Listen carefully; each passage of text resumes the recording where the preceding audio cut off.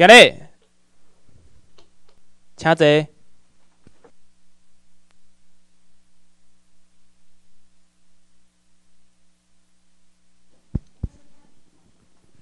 啊，各位同心，大家搞早。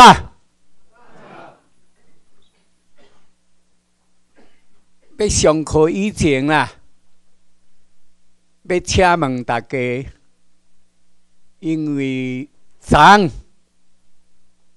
伫开学算开学典礼啦，吼，有听到一个同心讲。伊听无啦，那本土台湾人诶，台湾话啊，听无，请举手一下好无？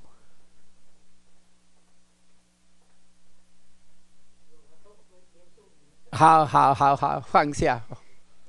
好，所以今天吼啊，我我要来跟大家啊讲这个啊。课程哈，可能就用啊叫做咱一般化了哈，就是我们啊说汉语呀哈来啊，我先自我介绍一下了哈，因为大家可能是第一次啊。见面啊，因为时间上也很宝贵，我不要讲太多。可以上电脑的去找的，举手一下好吗？我还还还不少哈。诶，谢啊，谢谢换家哈。啊，我是张文燕。你到雅虎、Google 里面去找，打张文燕，会找到我。啊，因为有时候张文燕会很多，如果直接会找到我，你就张文燕教授。这样的话，一进去就看到我的资料。那这样的话就很清楚了哈。那啊，这个，所以我出生在台中的神冈，差不多啊，中小学在中部，啊，大学部分呢，跟当兵。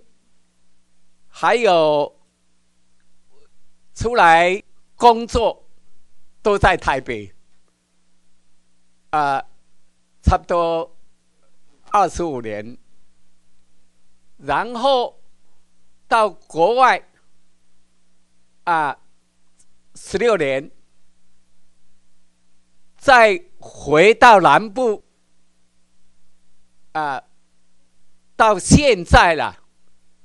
啊，也差不多十二年，所以中部待过，台北待过，啊，高雄跟台南，啊，现在居住在台南，啊，这是我的啊过程啊，给大家啊知道一下。那我是。第一届的啊，就来我们训练班啊啊，担任这个课程到现在。那我所开的课程啊，都跟会计相关啊的课。那么，为什么大家去啊？我去想一下，为什么那个阿扁总统、马英九啊，那么都出问题在这会计这方面。但是大家有没有在考虑到，为啊还要再进一步了解，为什么会计人员都没有事，主观都有事？想一想，啊，有人说是历史的工业，实际上啊。这些主观人员呐，都没有这个会计的观念了。如果有会计的观念，就不会吃这些事情出来。所以，会计啊，相当的重要。那我们今天的重点就是要讲会计制度。跟内部控制的问题，会计是一个历史的啊记录，钱用在哪里去，是怎么用，也一般说也是一步一脚印，都可以显现出来。最近，那么严清标他的立法委员，因为十几年前用工会喝花酒，大家去思考这个问题，跟什么有关？他用工会喝花酒，跟会计有关嘛？也是他的记账凭证上可以显示说，这这个钱跑去哪里？所以法院根据这些凭证来判决。安尼，大家想看嘛？这有重要无重要？所以大家要一定你在啊当民政府啊诶公务人员的时候啦，你要知道这些钱用去哪里。对人民有没有什么帮助，都可以从这个凭证里面看出来，它的效益怎么样？呃，所以说，这个就是要跟大家知道，先说开场白了，会计制度的一个重要性了。再来就是要来跟大家讲内部控制的问题。内部控制了，因为如果下面的审计部门、下面的主计部门认为说这个钱，就跟主官讲说这个你不能用，这个你不能用，你这个不能报，你这个可以报，都讲的很清楚的话，那。严清标会不会说啊？我来负责了。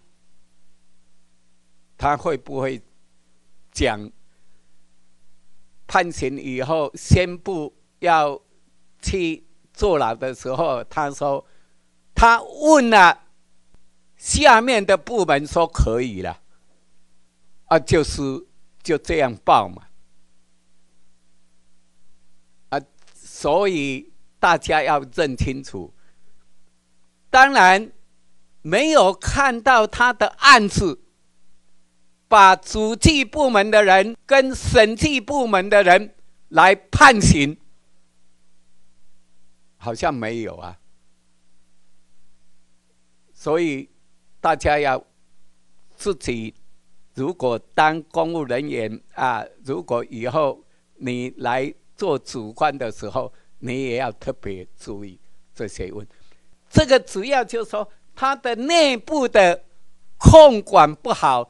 他说啊，你要用你就拿去用啊，你要用就拿去用啊。如果在我的观念上，以后要判刑的啦。你是主机人员，你最清楚，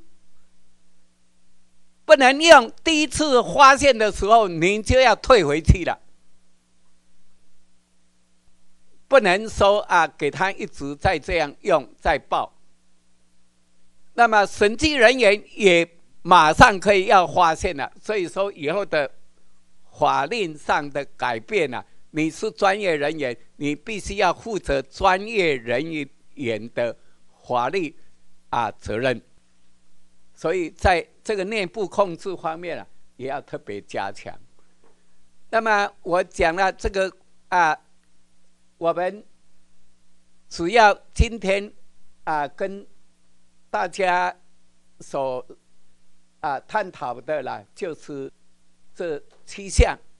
这七项里面呢，在第一项，刚刚我提的啊，严清标这个是最近的一个案例。现在我们来看啊，发生的一些案例啊，看发生的一些案例。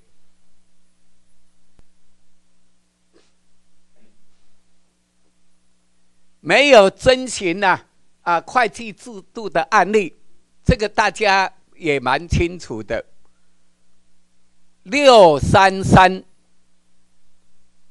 六三三，大家应当很清楚嘛哈。啊，马英九的政策六三三啊，刚好跑出一个六三三出来。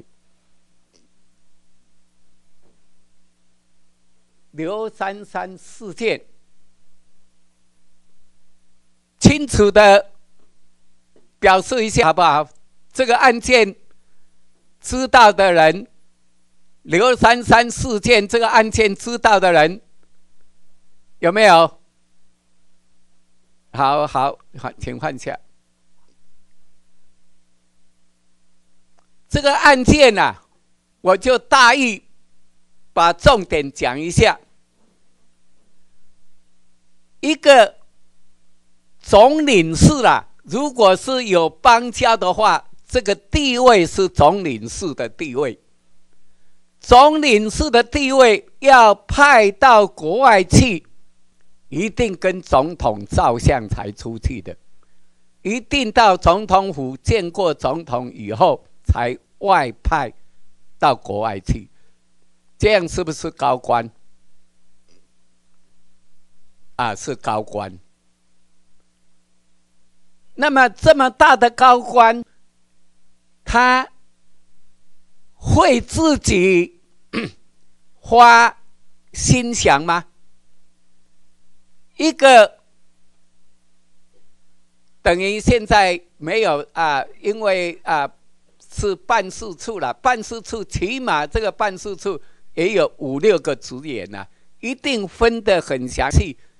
一定有管会计跟出纳的人员，那他一定要去花跟他的费用花来啊花钱给他吗？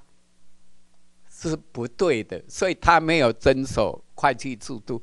如果他的钱啊来工作的啊员工啊就由会计部门去花钱给他，也不会发生这种问题呀。所以这个。啊，流亡政府了，就中华民国了，自己丢脸丢到国外去。啊，在在啊，说要要怎认罪协商？他说要认罪协商了，赶快赔他钱，认了罪啊，就回来了。美国。调查局呀，他就把他扣下来，关啊，差不多两个多月才给他回来。这个什么？啊，上手铐，还有什么？脚脚镣啊！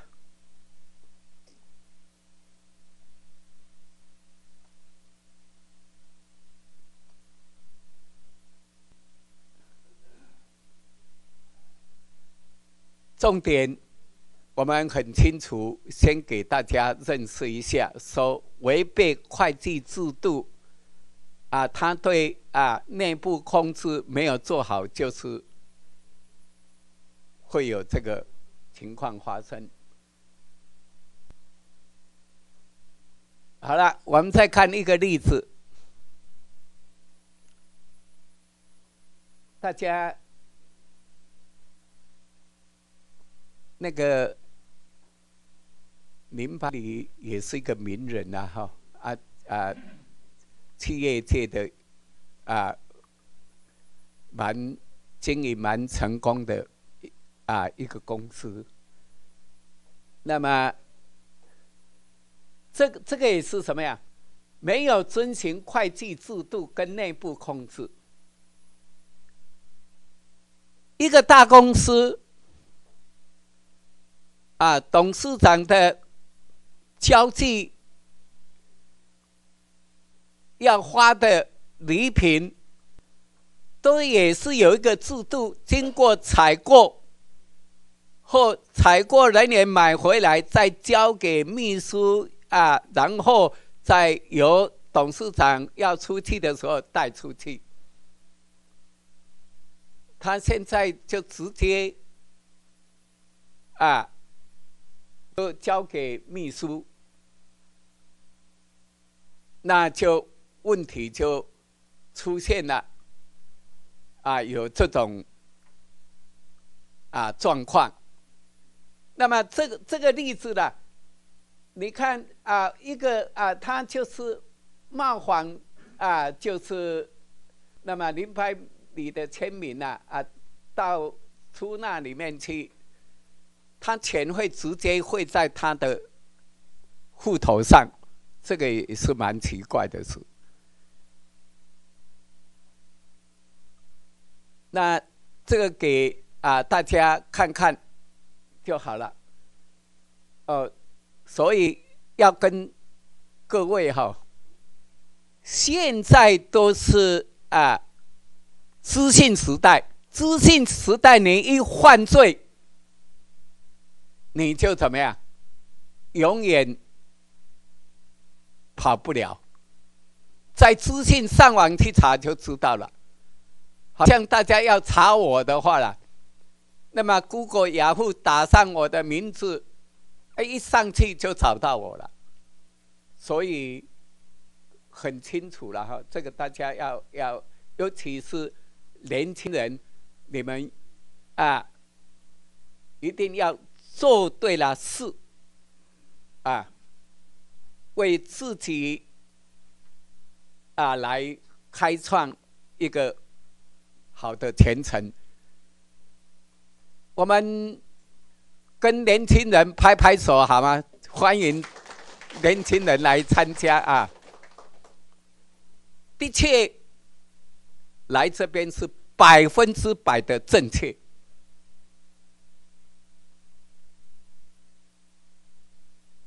我们在谈一个台塑在管理方面是蛮是啊，各方面都做得很不错的啊，台塑啊集团。那么台塑啦，那当然它也是违背了什么内部控制上啊啊，一般公务人员呐。夫妻不能在同一个公司里面。啊他们也违背了这种现象啊发生这些啊问题。所以所以这个例子啊也给大家啊知道一下就好了啊。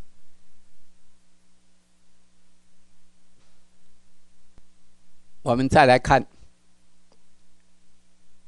这个是教育部啊，教育部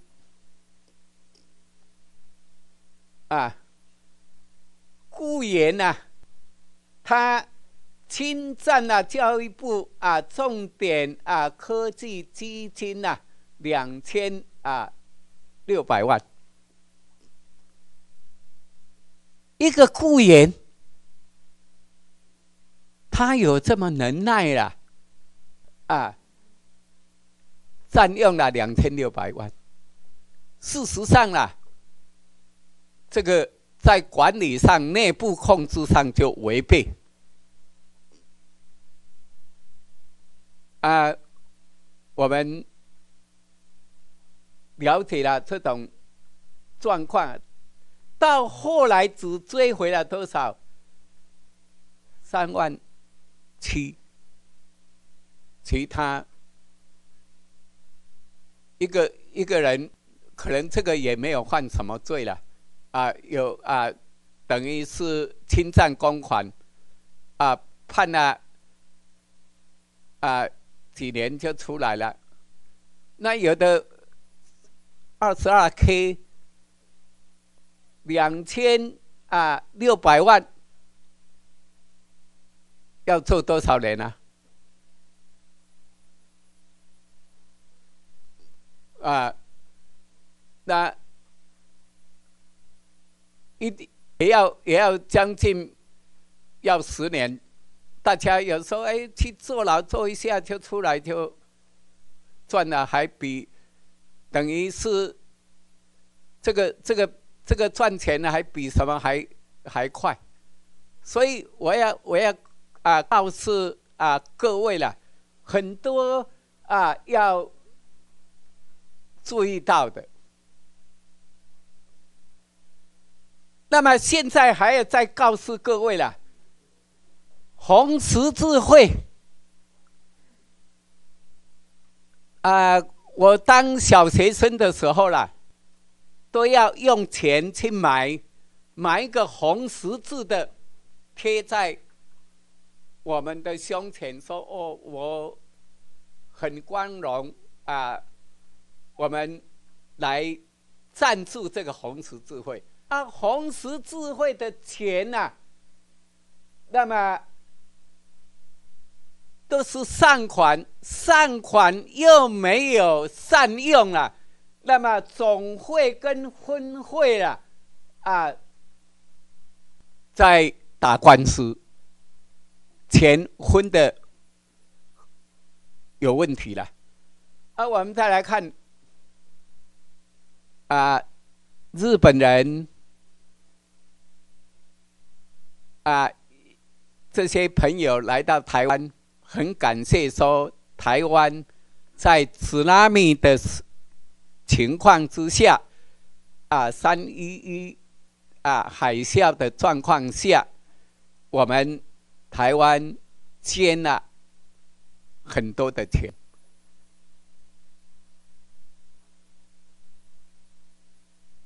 大家可以看到，他很感谢我们，但是这个善款呐，他还我我们余款未执行的百分率占百分之六十五点七。啊，这个这个啊，我们我们这个就是不是我在讲的哈，这个是啊，《自由时报》报道的啊，这个很多的善款总计啊，还百分之三十五点三都没有执行，所以。认为这个是会计制度也有问题，因为那个早期陈昌文的律师事务所啦，也出了很大的纰漏，啊，就是他们也出了一些问题。还还有还有一件事，这个跟没有遵循会计制度。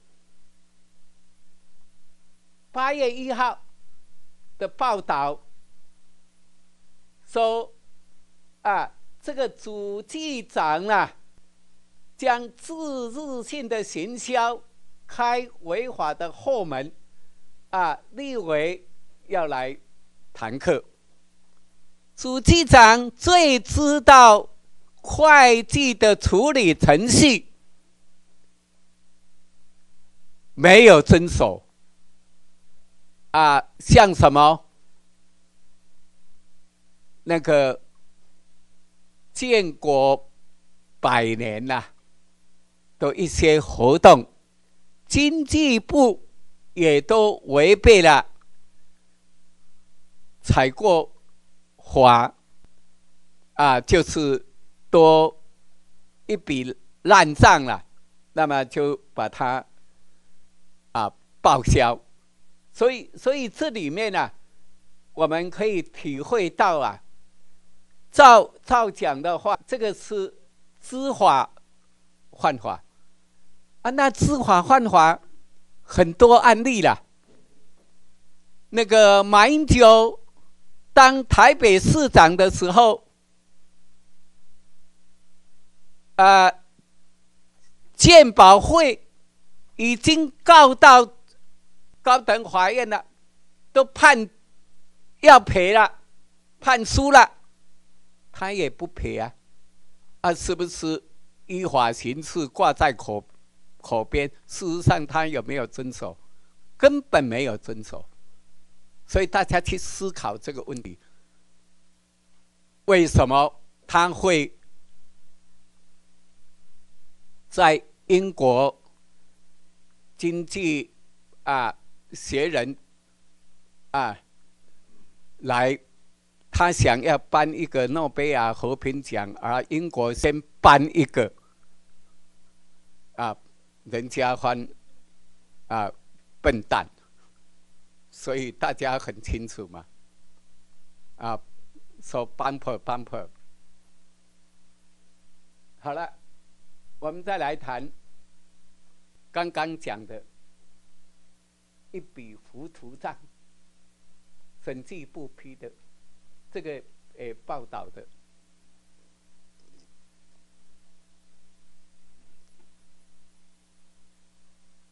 那我们差不多这个案例啦，啊，都告诉我们，经济部啦，薪资啦，都全部报销了，都盖章了。都给他们核销了，这个都是不可以的。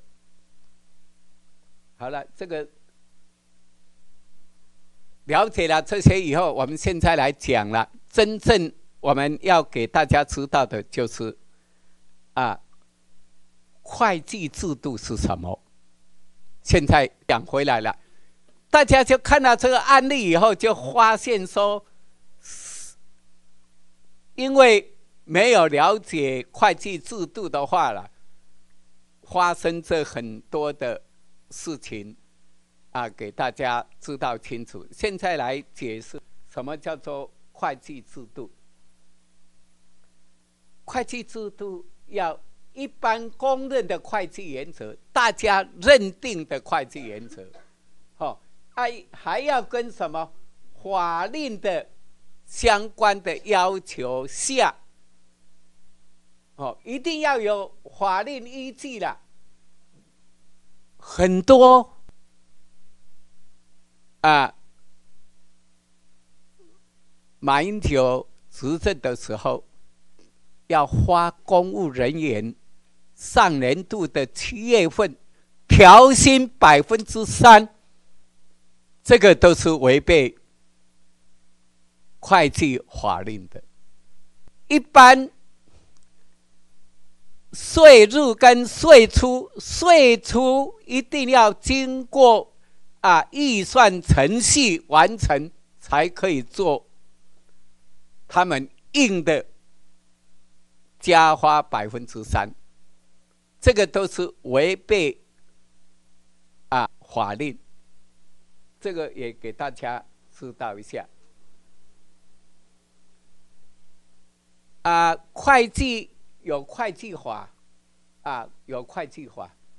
那么会计法所规定的会计制度呢，有包括这些啊六项，就是你一个会计制度必须要有这些的账簿啊。我们有会计报告科目、账簿凭证跟它的处理的程序，还有内部。审核，所以我们今天的重点就是讲会计制度跟内部控制。啊，这个是这样的。好了，跟我们以后要更相关的，一般的会计制度、公司行号，现在政府也纳进。这个整个啊，企业的会计制度来了，呃，在政府方面又有另外一套，就是政府会计制度。那政府会计制度了，那么我们会在高级班来开，就政府啊。那么，一般我们政府的会计啊审计制度里面来讲，那现在呢，我们所谓政府会计制度最主要了是来做一个政府预算的管理的工具，推行啊政务控制资源，那这些还要根据什么规章了？啊，啊来做处理了。政府的会计制度主要是做什么？等于税入跟税出啊，要均衡呐，不能啊不啊在正常的状况之下了啊，税入跟税出要平衡呐。不能说啊，等于赚的钱跟用的钱要相等了，不能说赚的钱啊比较少，用的钱比较多。最近报纸也闹了，报道出来说，台北市市长为了他要。办的一些大活动要举债，啊，有举债的法令上的一些限制，很不满，啊，在一些反弹，这个报纸有看的，大家都可以了解。事实上啊，只要政府的会计啦。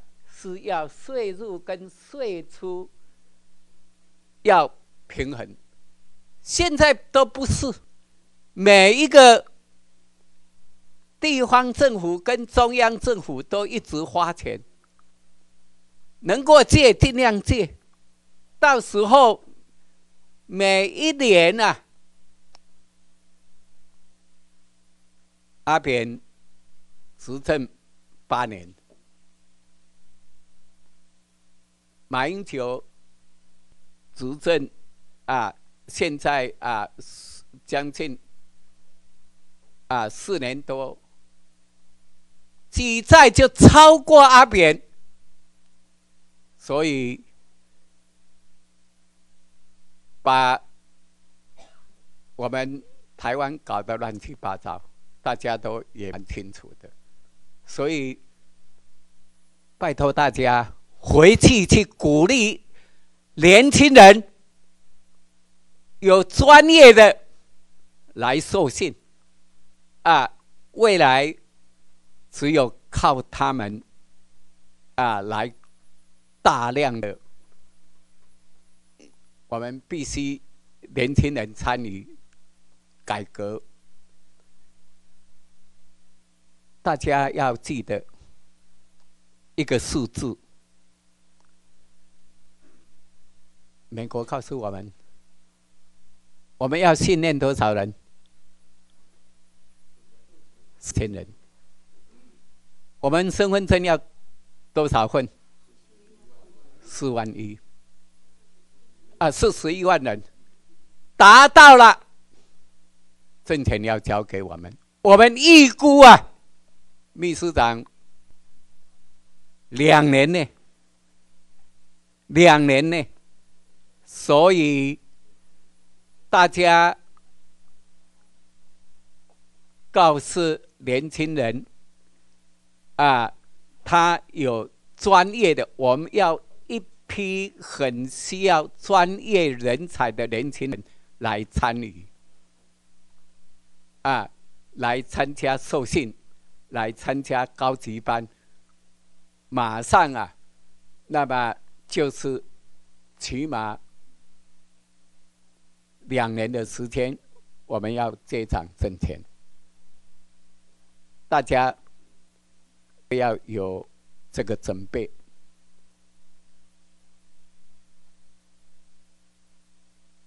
那现在要跟大家讲一个概念哈，和大家理解一下，会计制度啊，公认的啊原则啦，一般公认的会计原则啦。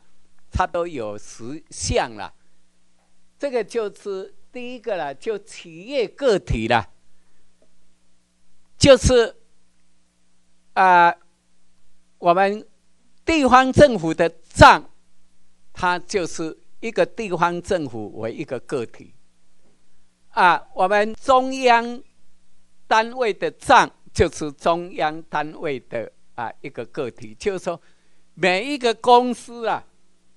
你的账不是你老板私人所有啊，这个在我们台湾的中小企业啦，百分之啊差不多八九十啊，那么都是个人企业比较多。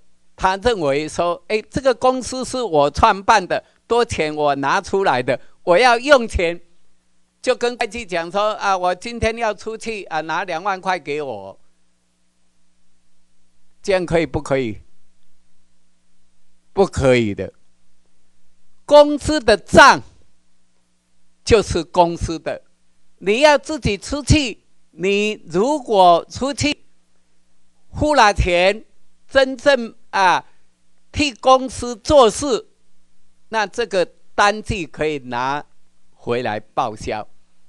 如果你去自啊私人用途，不可以拿回来报销，所以这一点，这一点一定要大家知道。这个就是个体了，要划分清楚了。啊，我们公家的钱就是公家的，私人的钱啊就是私人的，在。美国很清楚啊，我们这些的公务人员呢也不太清楚了。他就是装傻。哎，美国的官员，如果你是假日出去旅游，你不可以用公务车。所以美国有的家里面的车子。有两三部，每一个人都一部。那如果是公务车，就啊公用。你开私人去拜访朋友，那你就要开自己的车去拜访。这个就是一个企业个体原则，就是公司要分开了。第一项，公司要分开；第二项啊。当然，这个是啊，一个国家都是啊，那么永续经营呐，哦，永续经营呐。诶，大家会不会发觉说，最近啊，流亡政府他的政策都是什么？他他一直把钱花一花，准备要怎么样绕跑了。高层他们都是知道，有人去办身份证要到啊地啊那个户政事务所去领领收啊，我要领日记时代啊日本时代的那个户籍成本。他说你要做什么？你要啊，他就跟你啰嗦了啊，你要啊领啊日本时代的户籍成本的话了，都。都会啰嗦，主要是什么？现在通令啊，要统计这个数字，他们也在算时间了啦。他们也知道我们的信息了，因为我们是向全世界发布嘛，哈，我们都很透明。四十一万，美国叫你们回去。金门、马祖或平潭岛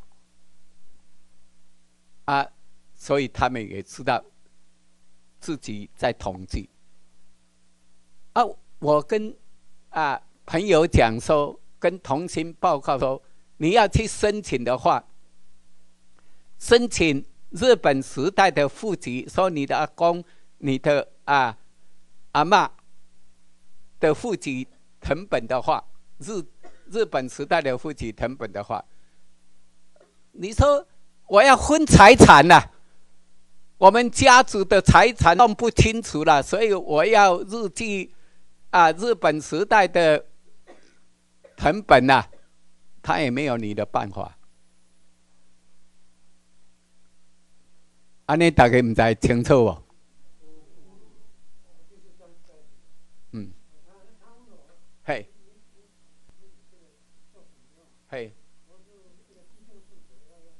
好，好，地震事务所也可以。好好好，对哈，所以所以，好，嗯，嗯，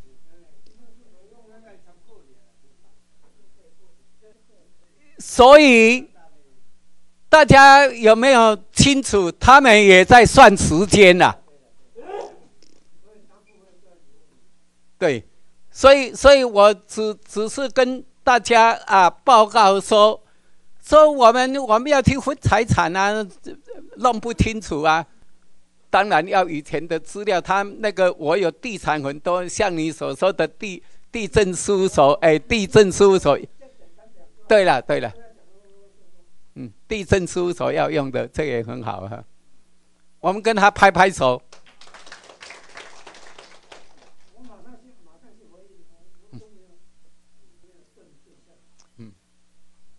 好，那我们看到啊，货币单位，我们以后会改为正台币。我们新台币啊，啊不用哈，我们以后会改正台币。哎，那当然，这个币值不变原则就记在账簿上的单位的钱是不会变的啦。哦，这个也要知道啊。这个就是一月一号到十二月三十一号，这个不变的啦。啊，这个是会计期间，大家要记得，为什么日本天皇下诏书是四月一号？因为。日本啊，他们的会计制度是四月一号到三月三十一号，所以日本下诏书的期间就是那么重要性跟啊那么稳健性啊是讲的花的这个钱有没有影响？啊，简单的例子说，我一个月做几千万的生意，所以我要买一个啊一般的工具，花五六千、七八千，那这个就可以当做费用怎么样？开销掉。如果你一啊，你的公司啊，一个月只做几万块，那你要花八天多去买一个工具，那这个工具就把它列为什么财产？类似这样的观念，这个就是重要性啊的情形哈。那再来了。我们在啊看到成本效益的问题，这个我们啊在编预算的时候啦，我们有特别的规定啊，在我们台湾啊公民权利法二十九条有特别的规定啊，就是一本比小于一的啦，不能做执行。啊，因为这个是给大家一个观念哈，啊，在会啊那个我们会计制度里面啊，要谈到成本跟效益上的问题了，啊，再来了，现金收付基础了，这个就是凡是现金买卖啊才算数就对了，啊，一般的现在的那个比较小的。啊，医院啊，私人的诊所，差不多都是用现金收付制度的，啊啊，现在我们政府单位还有一般公司都要采用前者发生基础。最简单来讲，前者发生基基础就是说，今年发生的收益一定要归今年。的赚的钱，如果是明年的收益了啊，今年先收，明年的收入今年先收，这个不能算今年的，一定要算到明年的收益，啊，这个叫做前者了，在哪一个时点发生啊？算哪一个时点的啊？现在了，我们的会计了。啊，都采用前者发生基础。那会计政策了，那么我常常举例了。那么西罗大桥，我们没有钱，先跟沙地阿拉伯借钱来，啊来，所以收过路费，收收收，然后还掉这些啊借款，这个叫做。可以用会计政政策来做啊，内部控制的意义，我们只要啦，是内部控制是一个管理的过过程呐啊，我们只要是啊，要经由管理阶层的设计啊，由啊高阶层的合成以后。啊，要达到这三个目标：一个可靠的财务报道，第二个是有效啊，那么有效率跟有效果的营运，还要遵循我们法令。那上到这个阶段，违背法令最多的就是马英九。为什么他都不遵守嘛？啊，那个、那个也那个，我们要那个高等法院都判要赔了，他也不遵不遵守，他也不赔。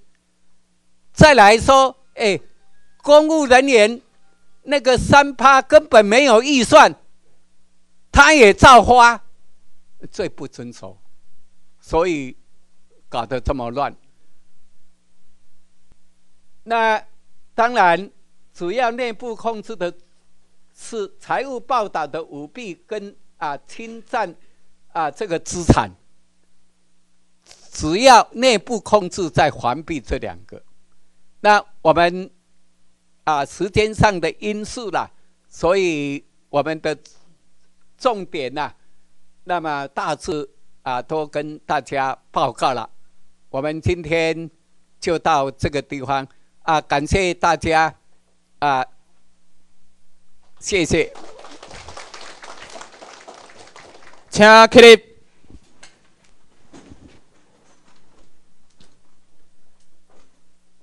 今日休困十分钟。